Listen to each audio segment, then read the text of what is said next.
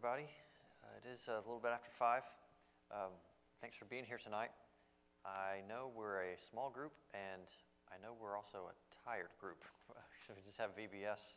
Um, and so we may be out of here. We, we may keep this a little brief tonight. Um, unless you object, I have material. We could try to go longer, but uh, we, may, we may be uh, having a, a briefer uh, Bible study tonight. But thanks for being here. Uh, we'll begin, of course, by going to God in prayer.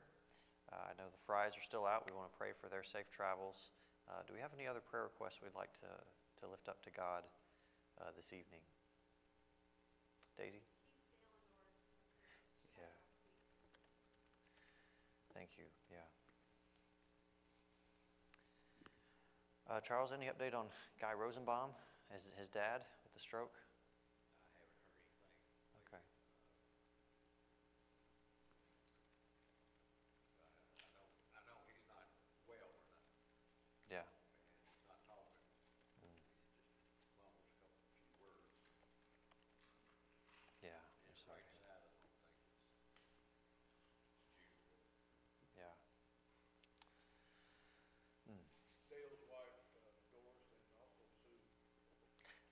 Yeah, Sue's still waiting on the PET, uh, PET scan results, and uh, we want to praying for her.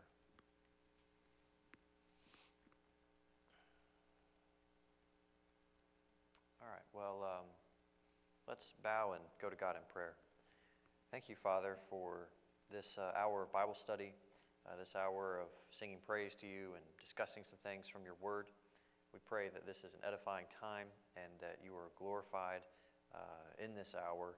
We pray for that matter that you're glorified in all of our lives, and we pray that you bless us as we move forward into this week, that you'll give us strength, uh, courage, that you will bless us with peace and patience, and uh, help us to be um, truly walking in the steps of your Son. And we pray you'll be gracious to us when we fail, and that you will continue to strengthen us and conform us to his image. Father, we lift up those we've mentioned just now.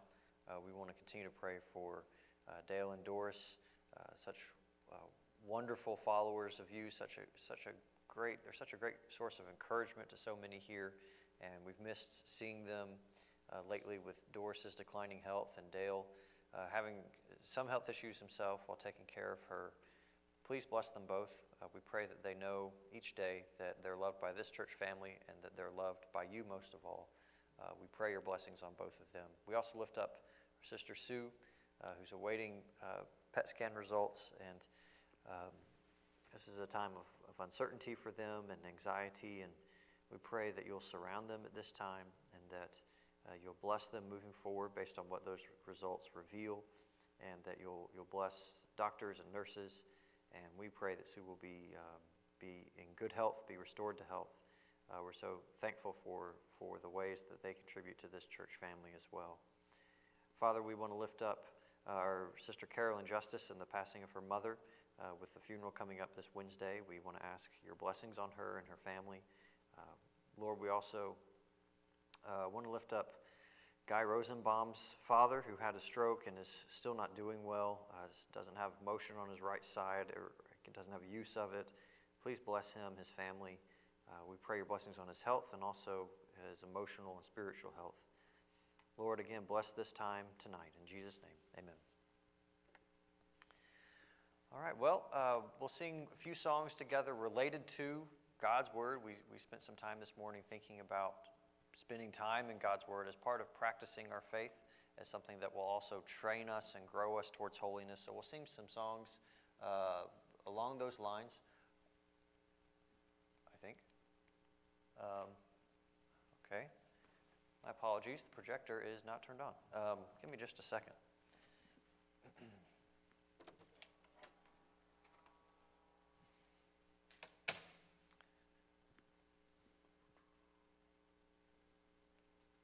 While it's coming up, I think our first song is in the hymnal anyway. So maybe we could just use that. Let me see if I can find the number.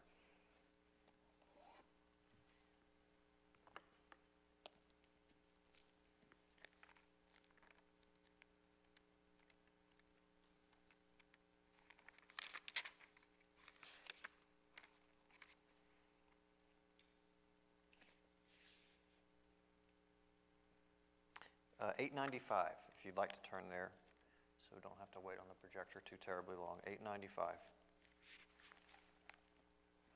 Thy word. We'll sing it through. Uh, well, there's two verses, and we'll sing them both. Thy word is a lamp unto my feet and a light unto my path. Thy word a lamp unto my feet and a light unto my path.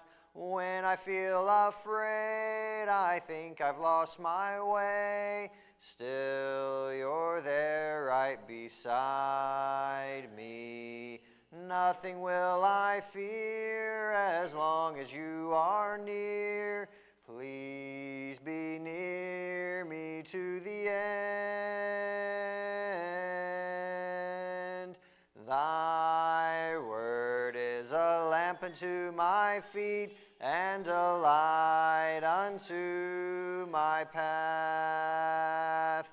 Thy word is a lamp unto my feet and a light unto my path. I will not forget your love for me, and yet I'll forever be wandering. Jesus, be my guide, hold me to your side. I will love you to the end. Thy word is a lamp unto my feet and a light unto my path.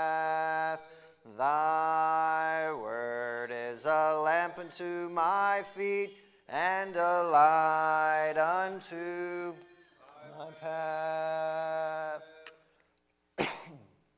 Excuse me, my throat is awfully itchy right now.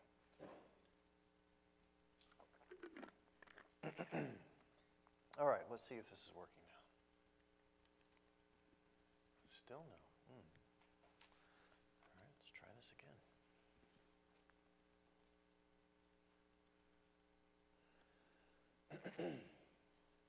Our next song is only on the screen, so we need it now.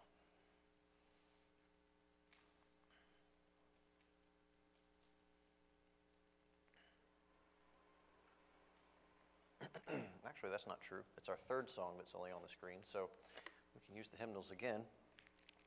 Give me just a second here.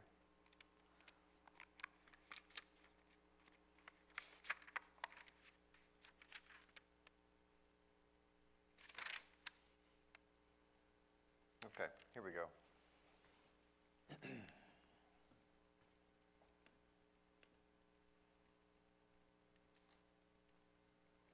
Next song is Wonderful Words of Life.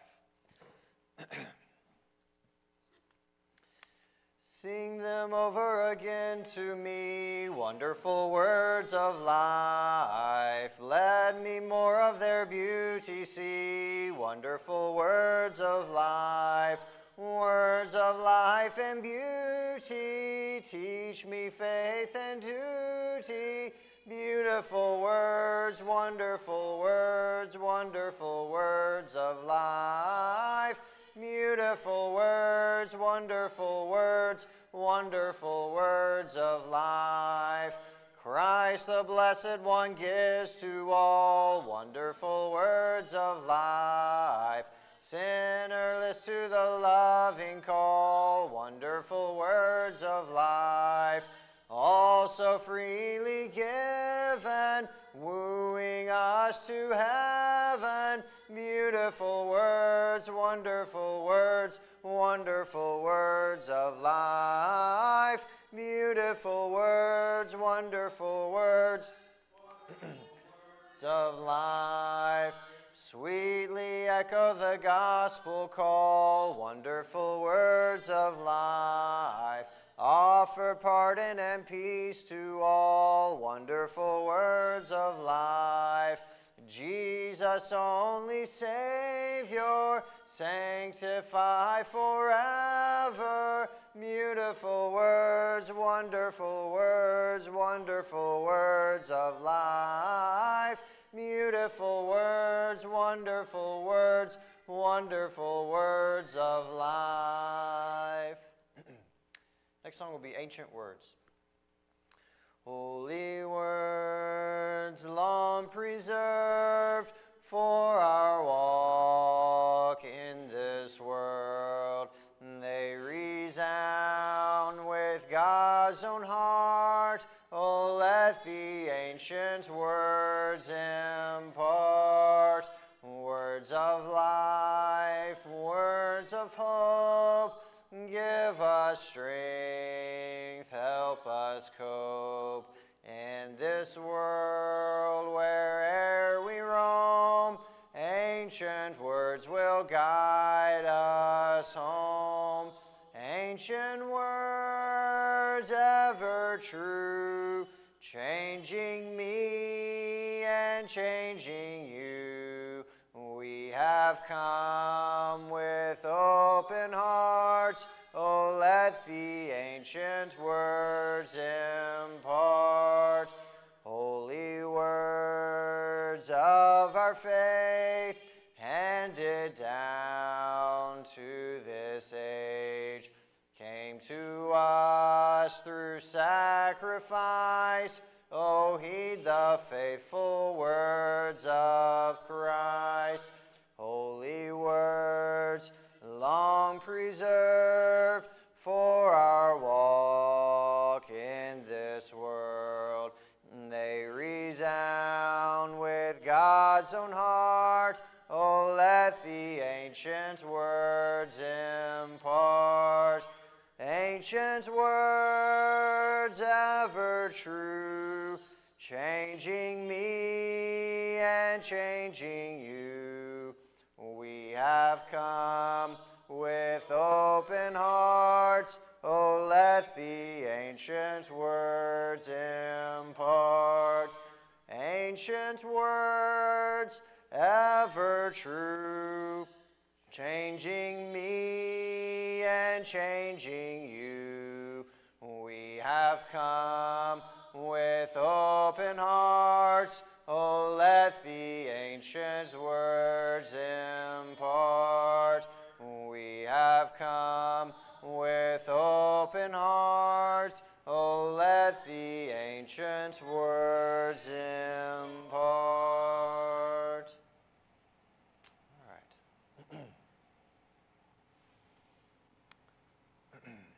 So again, we spend our time uh, today. I realized I didn't bring my own Bible. What a shame. I've, I've got it on my laptop.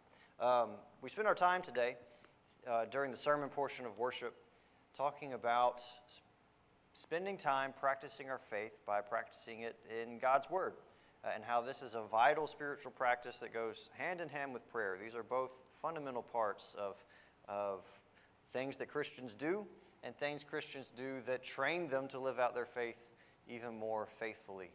Um, again, we may not be here for too terribly long, uh, but one parable I wanted to take some time to focus on that I didn't touch on this morning is found in Matthew chapter 13. It's called sometimes the parable of the scribe, and it's one of the more obscure parables of Jesus. It's very short. I don't know how well known it is. I haven't heard it preached or taught very often, but I think it does relate to um, a great truth about spending time in God's Word. So, encourage you to, to turn there in your own Bible or perhaps use the Pew Bible if you don't have yours, but it's Matthew 13, uh, verses 51 and 52. Matthew 13, 51 and 52. It begins with Jesus asking a question. He says, Have you understood all these things? They said to him, Yes. And he said to them, Therefore, every scribe who has been trained for the kingdom of heaven is like a master of a house, who brings out of his treasure what is new and what is old. I want to take just a minute to set some context here. Right before Jesus asked this question, Have you understood all these things? He, ter- he tells a series of parables. Uh, you've got the parable of, uh, and, and my translation very help- helpfully provides headings for each one parable of the net, parable of the pearl of great price, uh, parable of the kingdom of heaven being like a treasure hidden in a field, uh, parable of the weeds, which Jesus takes time to explain. We got the mustard seed and the leaven, um, parable of the sower. So, all these teachings of Jesus, and if we remember about Jesus' parables, they had the, uh, the tendency to confuse some people, actually confuse a good number of people, and even some of those who maybe should have, maybe were best placed to understand it. Jesus sometimes had to explain the parables to them. And so he asks here, Have you understood all these things? And actually, um, the disciples reply, in this case, yes, they, they do believe they're understanding what Jesus is saying. And then, then he states in verse 52 this brief, really one sentence parable. But he talks about here how every scribe, he says, a scribe is like this. He says specifically, a scribe is like a master of a house. So, to understand this parable, I think we first need to understand a little bit about scribe. Who were the scribes in Jesus' time?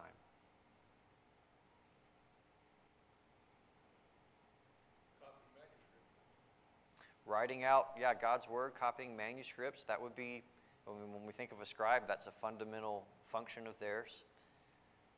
And scribes are often in the Gospels paired with the Pharisees, and they're presented as being among the religious elite, being among the religious leaders, the religious experts. And they're trained very closely in knowledge of Scripture. And that makes sense because if they are copying this stuff, that would give them a lot of familiarity with it. Uh, and, and, they would naturally be trained not only in, in knowing the, the words on the, on, the, on the scroll, but being trained in understanding what it means. Uh, they probably would have been involved in teaching other Jews, maybe even when they're children, and how to how to recite Scripture, uh, perhaps how, how to read Scripture. So these are the scribes in Jesus' time. Were the scribes typically on good terms with Jesus? They were often not.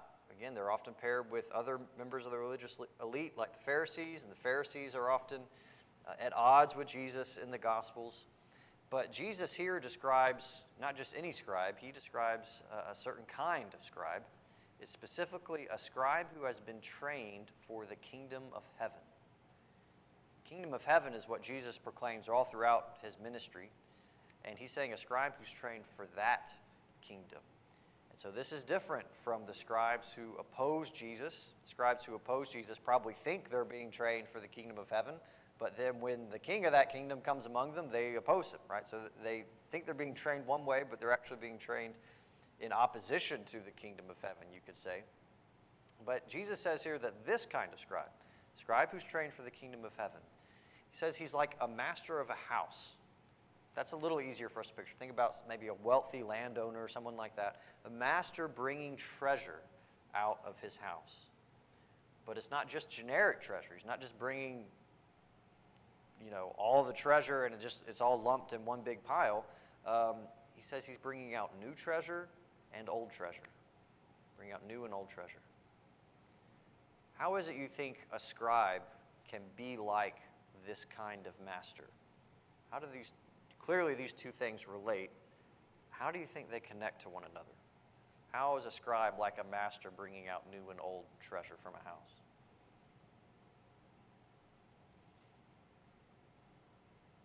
Any thoughts? Daisy. Yeah.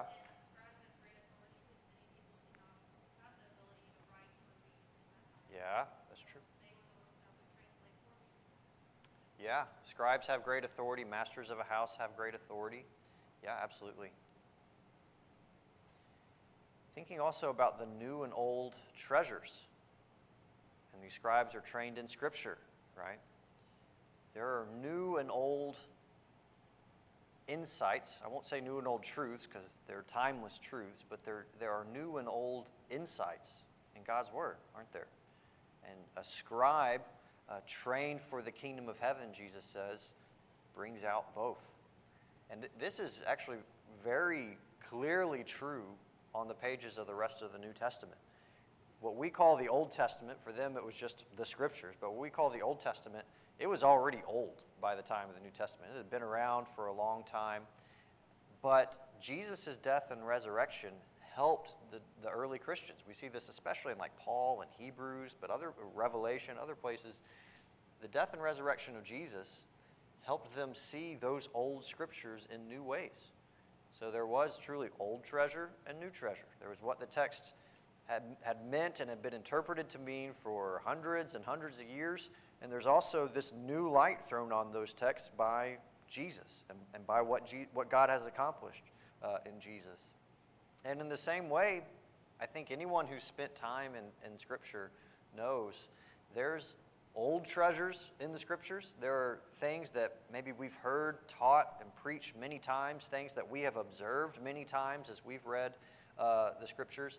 But then sometimes suddenly we may make a connection uh, in a Bible class setting or in our own. We may make a connection to some other passage we've never made before, or some key truth of Scripture connects to this passage and we've never made that connection before. But now that we see it, we see well, we're not just making this up. This isn't just you know me making scripture mean whatever I want to mean. Like this connection is clear there. I just I just hadn't seen it before. Uh, and and sometimes it's our life circumstances that bring this out. You know, we may be in a setting in life where we're experiencing things that we hadn't experienced before, and now Scripture takes on a whole new dimension for us because of our own life circumstances. So, again, for us as well, there are new and old treasures to be found in God's Word. Um, and so this connects a little bit with one point I, I did make this morning that Psalm 119 uh, draws out in, in, one passage where, where the psalmist there says, Open my eyes to behold wondrous things from your law. There really is always something new to be gleaned, always, always some new way that the scriptures can, can deepen our understanding and grow us in wisdom. But I, I do want to mention with this parable, notice that Jesus makes it clear we need both the old and new treasure. He doesn't say, that one of these is better than the other. He doesn't say you should only grab from the old pile or the new pile. He indicates that both of these are, it's both treasure, right? And the, the scribe, the master of the house, brings them both out. And I think that does touch on an important truth that we need the old and new treasure and that they help balance one another. And it's, it's valuable to think about what would happen if we only have one or the other, if we only chose one of, one over the other. And sometimes Christians do this. So sometimes Christians can only want the old treasures uh, and, and think that there's really nothing else to be said about what the scriptures teach that hasn't already be said, that hasn't already been said. All the truth there is has been uncovered, and all we got to do is just keep saying it over and over and over again. Uh, and if we're just focusing on the old treasure, that can kind of lull us to sleep spiritually, right? Um, if we're only focusing on the things that we know uh, to be true, that have been true for, for generations, that can just kind of, you know, we can get so used to it. And that can also lead us, if, if we're only holding on to old teachings and ideas, uh, it could lead us to actually perpetuate false teachings and ideas. You know, there are false teachings that are old. And if we're not looking at those teachings with judgment and discerning them by Scripture, we might be upholding false teachings that are old just because they're old. Uh, so, so that can be a danger of just having the old treasure.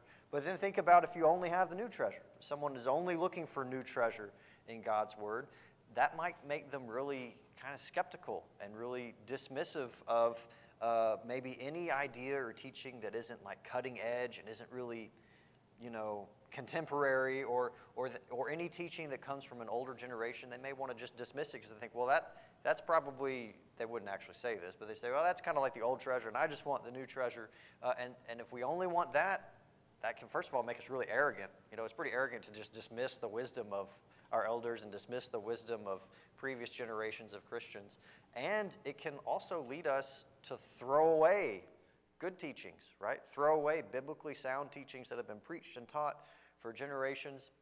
And as we do that, we might interject a lot of new false teachings and false ideas. Um, and so, truly, we need to be seeking both. We need both in balance with one another. There are old and new treasures in God's Word, and we don't need to dismiss either. We need to be looking for both, and that will help us, I think, remain balanced and secure and truly rooted in um, God's Word. I know this is kind of a strange parable, uh, and again, not one that I've heard many sermons or, or Bible classes on. And um, so, any, any thoughts or reflections on,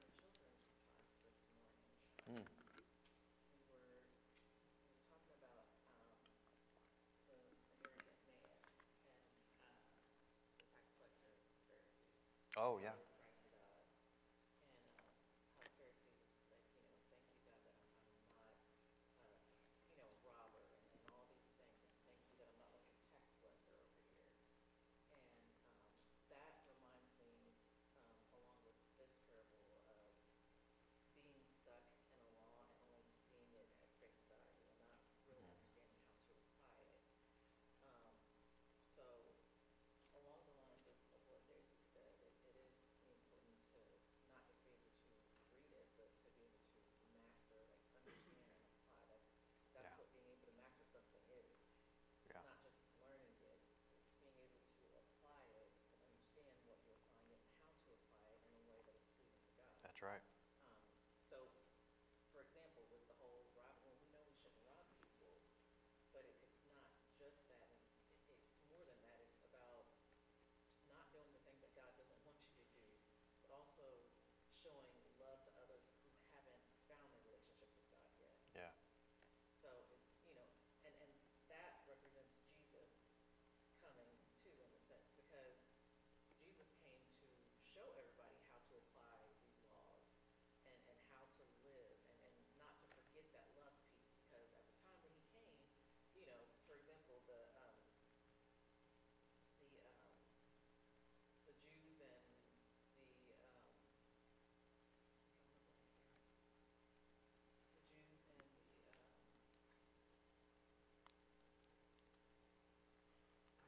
anything about just Jew and Gentile division? Yeah. Yeah, yeah.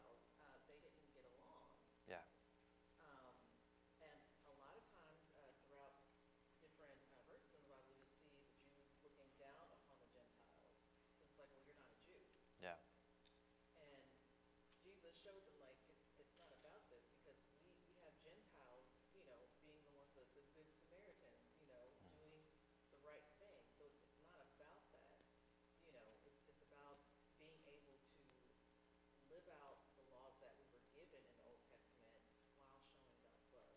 Yeah. So we need the old and we need the new. Yeah. I appreciated you saying that it takes, we need that wisdom and discernment to handle the old and the new treasures wisely, uh, because without it, I mean, we can really mismanage these treasures, you know, and really make the scriptures say things that they don't say and really apply them in ways that they were never meant to be applied. So, yeah, it really does take discernment. Any other thoughts on this parable?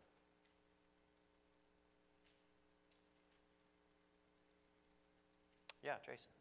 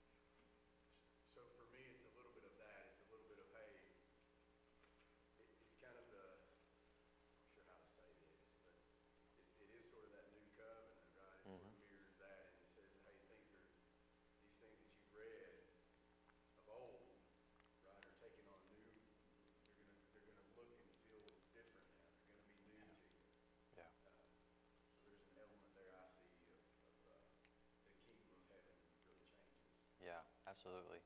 And I'll, I'll, put in a plug here for our class on Acts on Sunday mornings.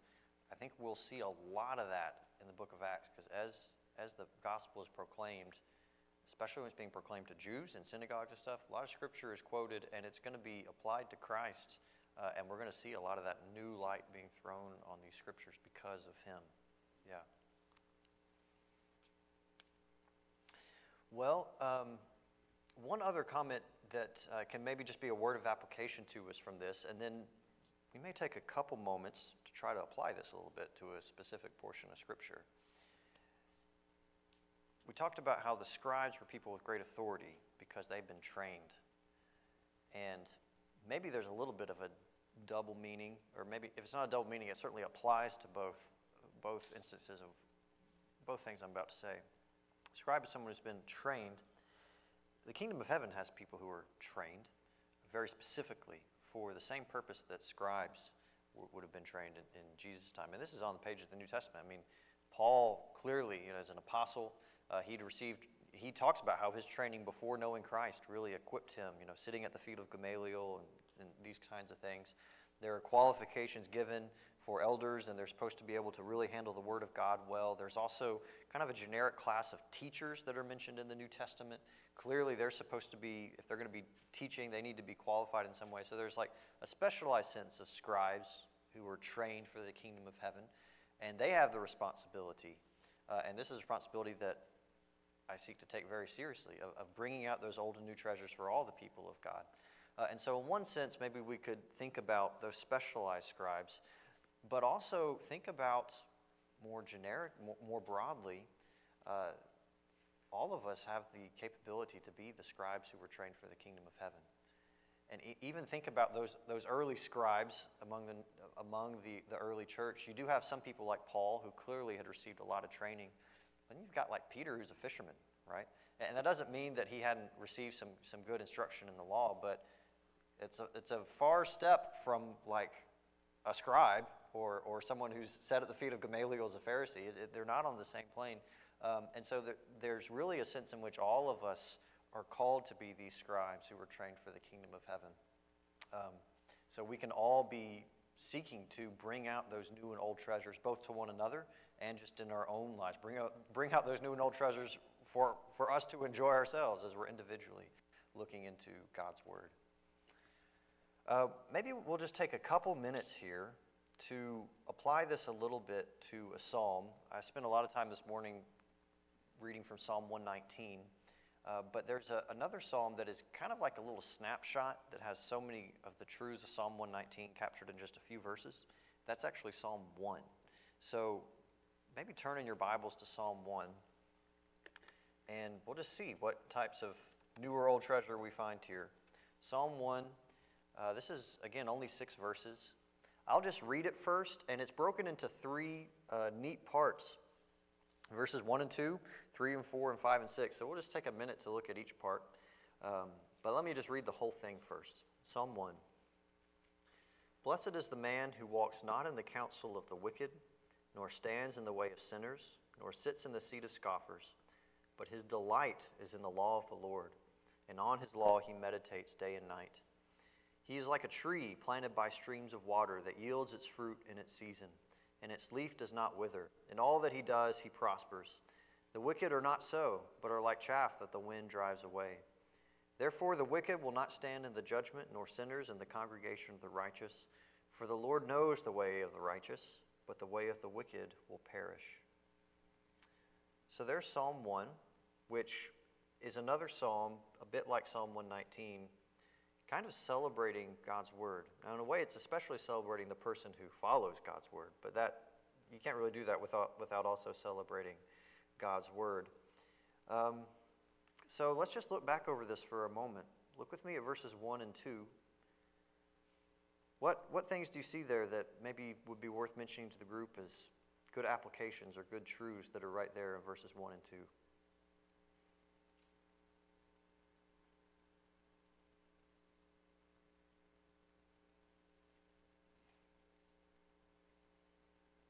Something that I noticed. Notice we have this um, contrast with a, a sinner, someone you know walking, someone living in a way contrary to God, and notice we have walking, standing, and sitting for him. Walking in the counsel of the wicked, standing in the way of sinners, sitting in the seat of scoffers. So, I mean, that's pretty much all the motions that we can do physically, right? We're, all, we're either on the go, we're standing still, or we're sitting down. Uh, of course, I guess sleep we're laying down, but, but the, the point is still there. Um, and then we have, in contrast with this, a person who is day and night meditating on the law. There's also something holistic there. You can't really divide up, you know, that captures the whole day. It's either day or night, right? So we, in both cases, Psalm 1 is talking about a whole life preoccupation, someone whose entire way of life is caught up in one of two ways. Uh, they're either, their whole life is either spent living contrary to God, or their whole life is spent delighting in the law of the Lord. Um, so, so we see this kind of whole life focus. And, and he's saying that blessed is the man whose whole life focus is on the law of the Lord. His whole life is set on meditating on, uh, on his will, on his law, on his scriptures. How about verses 3 and 4?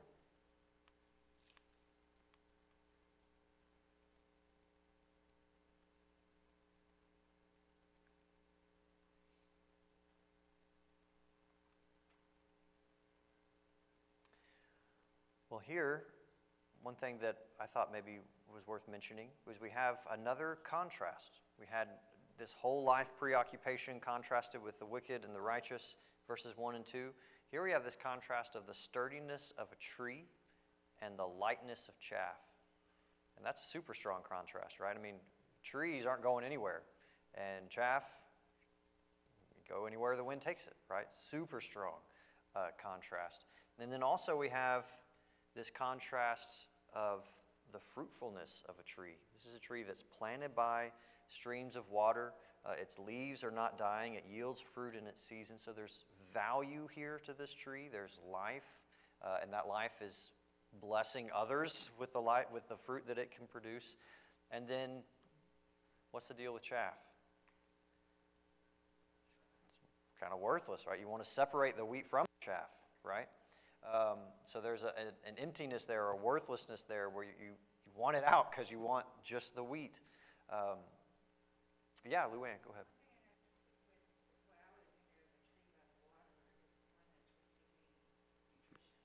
Yeah.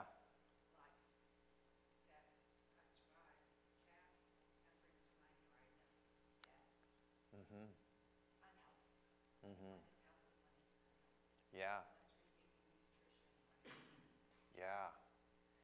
And that's a great, that's a very important contrast because sometimes we can fall into the, the mindset of kind of doing this all on our own. Uh, but this is a tree, the only reason this tree is doing what it's doing so well is because it's constantly receiving nourishment from an outside source, right? It's, it's not going it alone on its own strength, it's receiving constant nourishment. Uh, Tanisha.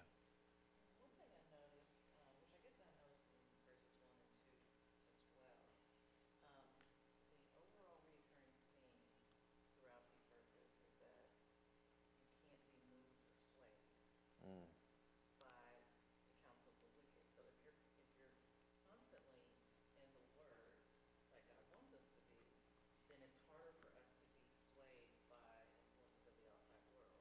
yeah. Because we, we have that discernment that comes as a benefit from the wisdom that we get. in the Word. Mm-hmm.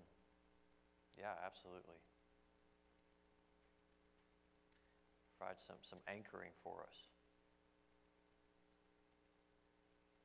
Well, uh, let's move on to the last part. How about verses 5 and 6?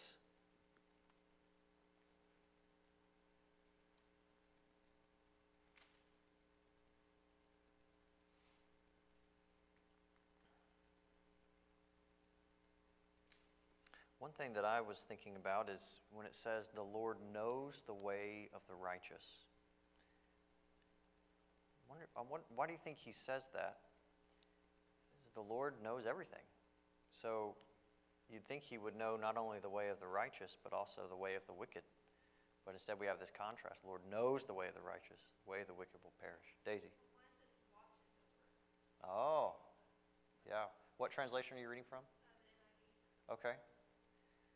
And what, what else? Does anybody have something different there in their translation besides know or watches over?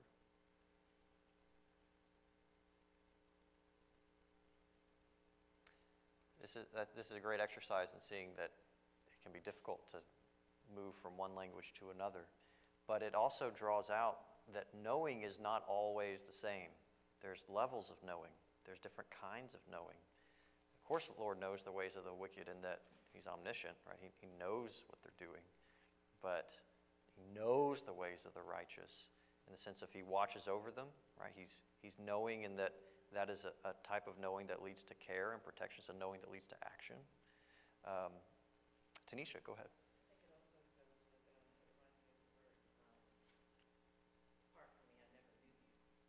Yeah, So there's the knowing of, I know you on an intimate level because you have shown me, you have lived for me, you've shown me you love me.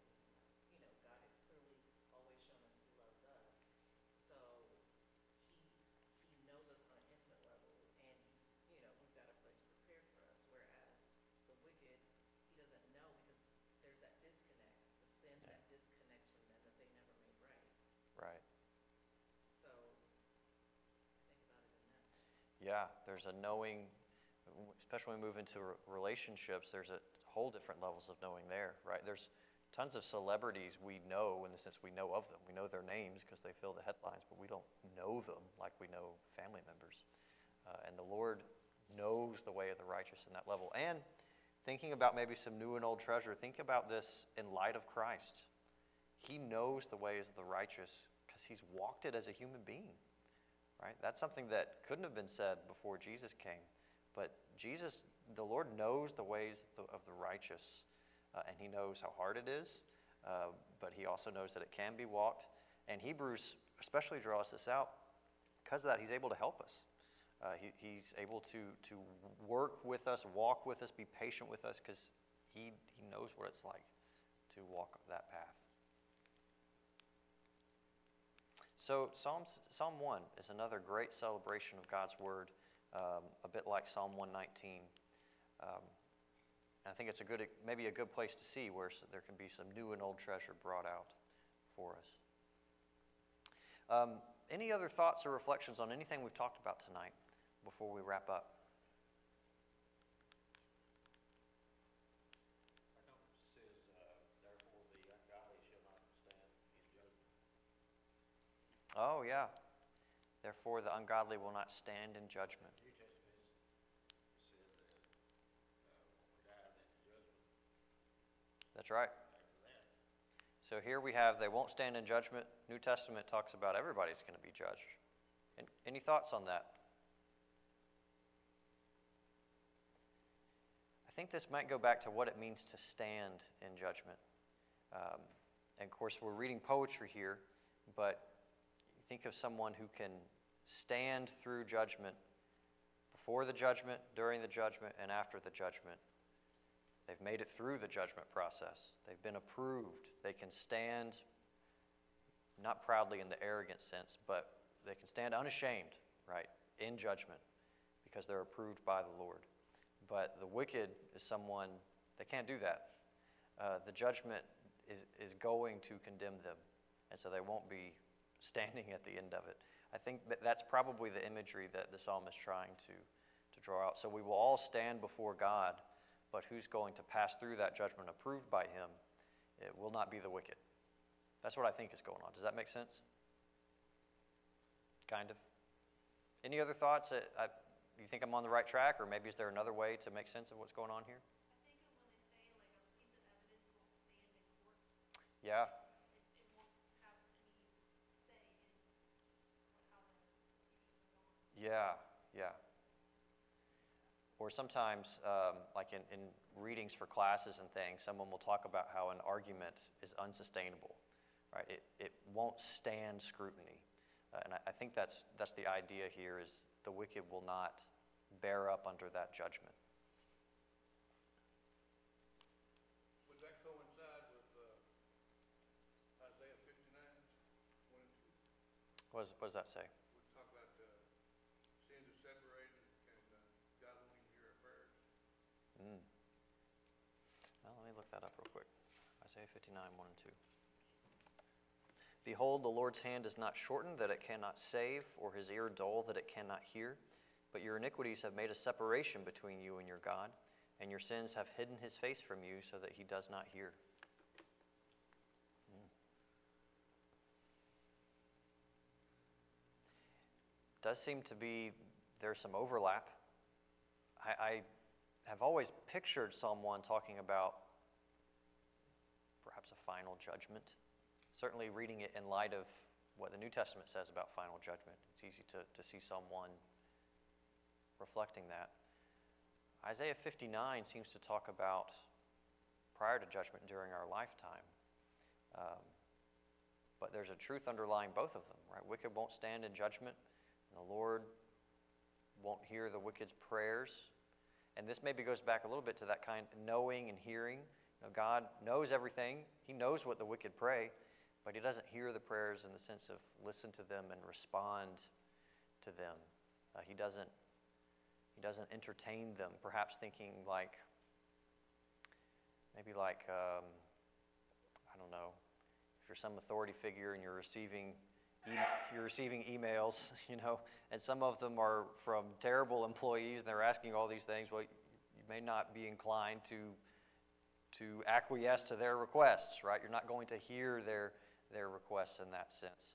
Uh, but maybe those who are, you know, really faithful and diligent, and they've got good ideas and they're invested, you want to hear what they have to say. Um,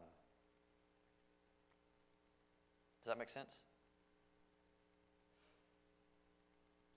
Maybe? What are you thinking?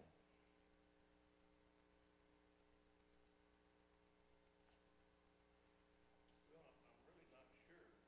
Uh, to me, uh, if sins haven't been repented of, and you're not serving God at all, it's, it's self-inflicted. And God, you know, He wants us to be saved. But if somebody that's totally wicked and finally just says, hey, God, I I give up. Uh, will you send somebody or let something be delivered to me where I can learn how to be saved? I think God would hear that prayer. But somebody that's wicked and just self-centered and only cares about himself or herself, I don't think God hears it. Yeah, I agree. God- I would, I would say that God doesn't hear it in the sense of hear it and respond to it. It- Being omniscient, I think He knows what they're saying, but He's not going to receive that prayer the way He would receive the prayer of someone who is in Christ and seeking to follow Him, or maybe someone who doesn't yet know God through Christ but is seeking and searching. Uh, but that is different from perhaps the prayer of the wicked, someone who's just closed their heart off to God, and maybe they're deluded and they don't even realize they've done that, but they've kind of slowly deceived themselves and, and think they're all right. Um, yeah, yeah. Tanisha.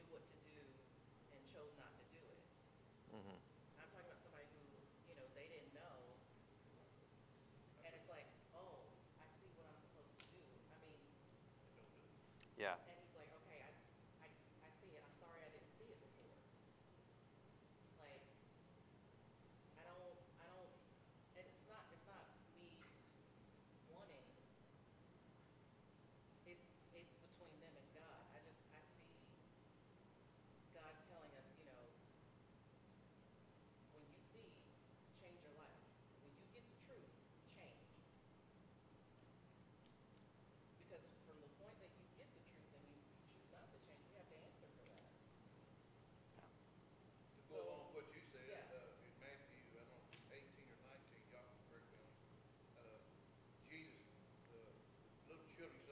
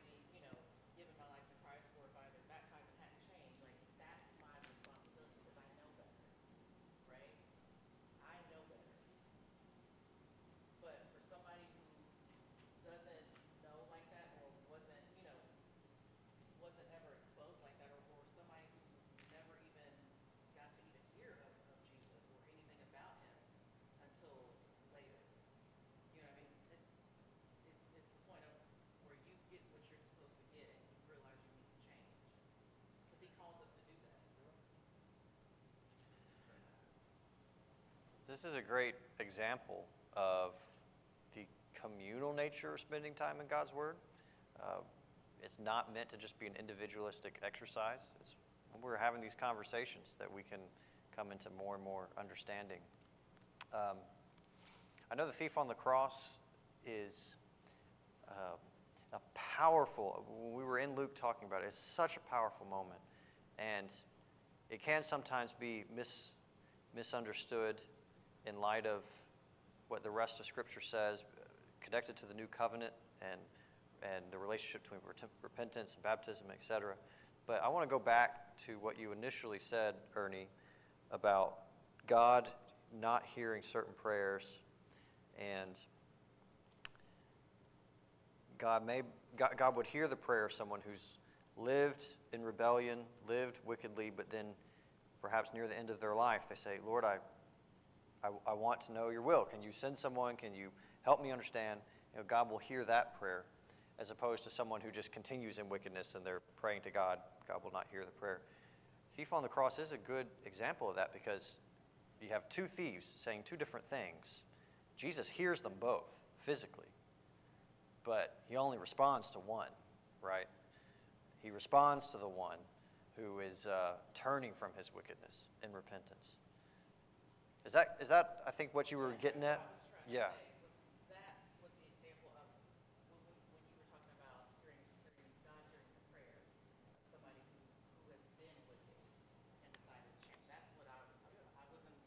Yeah, yeah, yeah. Yeah, yeah, yeah. Um, that is, I, I think that's such a great object lesson, though, for what we were talking about, about the Lord knowing the way of the righteous, but also knowing everything. The Lord hearing all prayers, but only hearing the prayers of the righteous. Jesus physically heard them both, but at a deeper level, he only really heard one, right? Um, and so maybe that's a good object lesson for the very thing Psalm 1 and Isaiah 59 is talking about. Any other thoughts or reflections? We, I know I said we'd be done short, but um, we ended up having some good conversation, and we're, we're done a little bit after, actually. Is there anyone here who needs to take the Lord's Supper? Uh, do you already have a communion cup there, Jason? All right. If there's nothing else, then let's, uh, then let's go to God in prayer for the bread.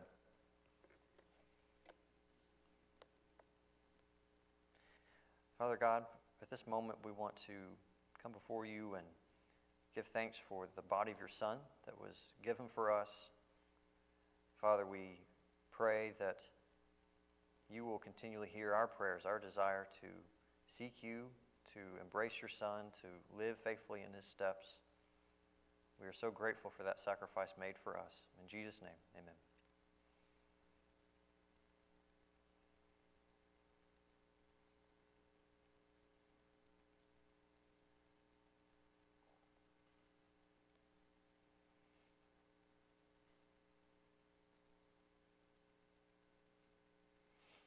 Father, at this time, we also pray your blessings over this cup. We're so thankful for the blood shed for us, for the forgiveness of our sins. Uh, we pray that in the way Christ poured himself out for us, that we will daily uh, pour ourselves out for you in love and service, um, that we will know your love for us more day by day. In Jesus' name, amen.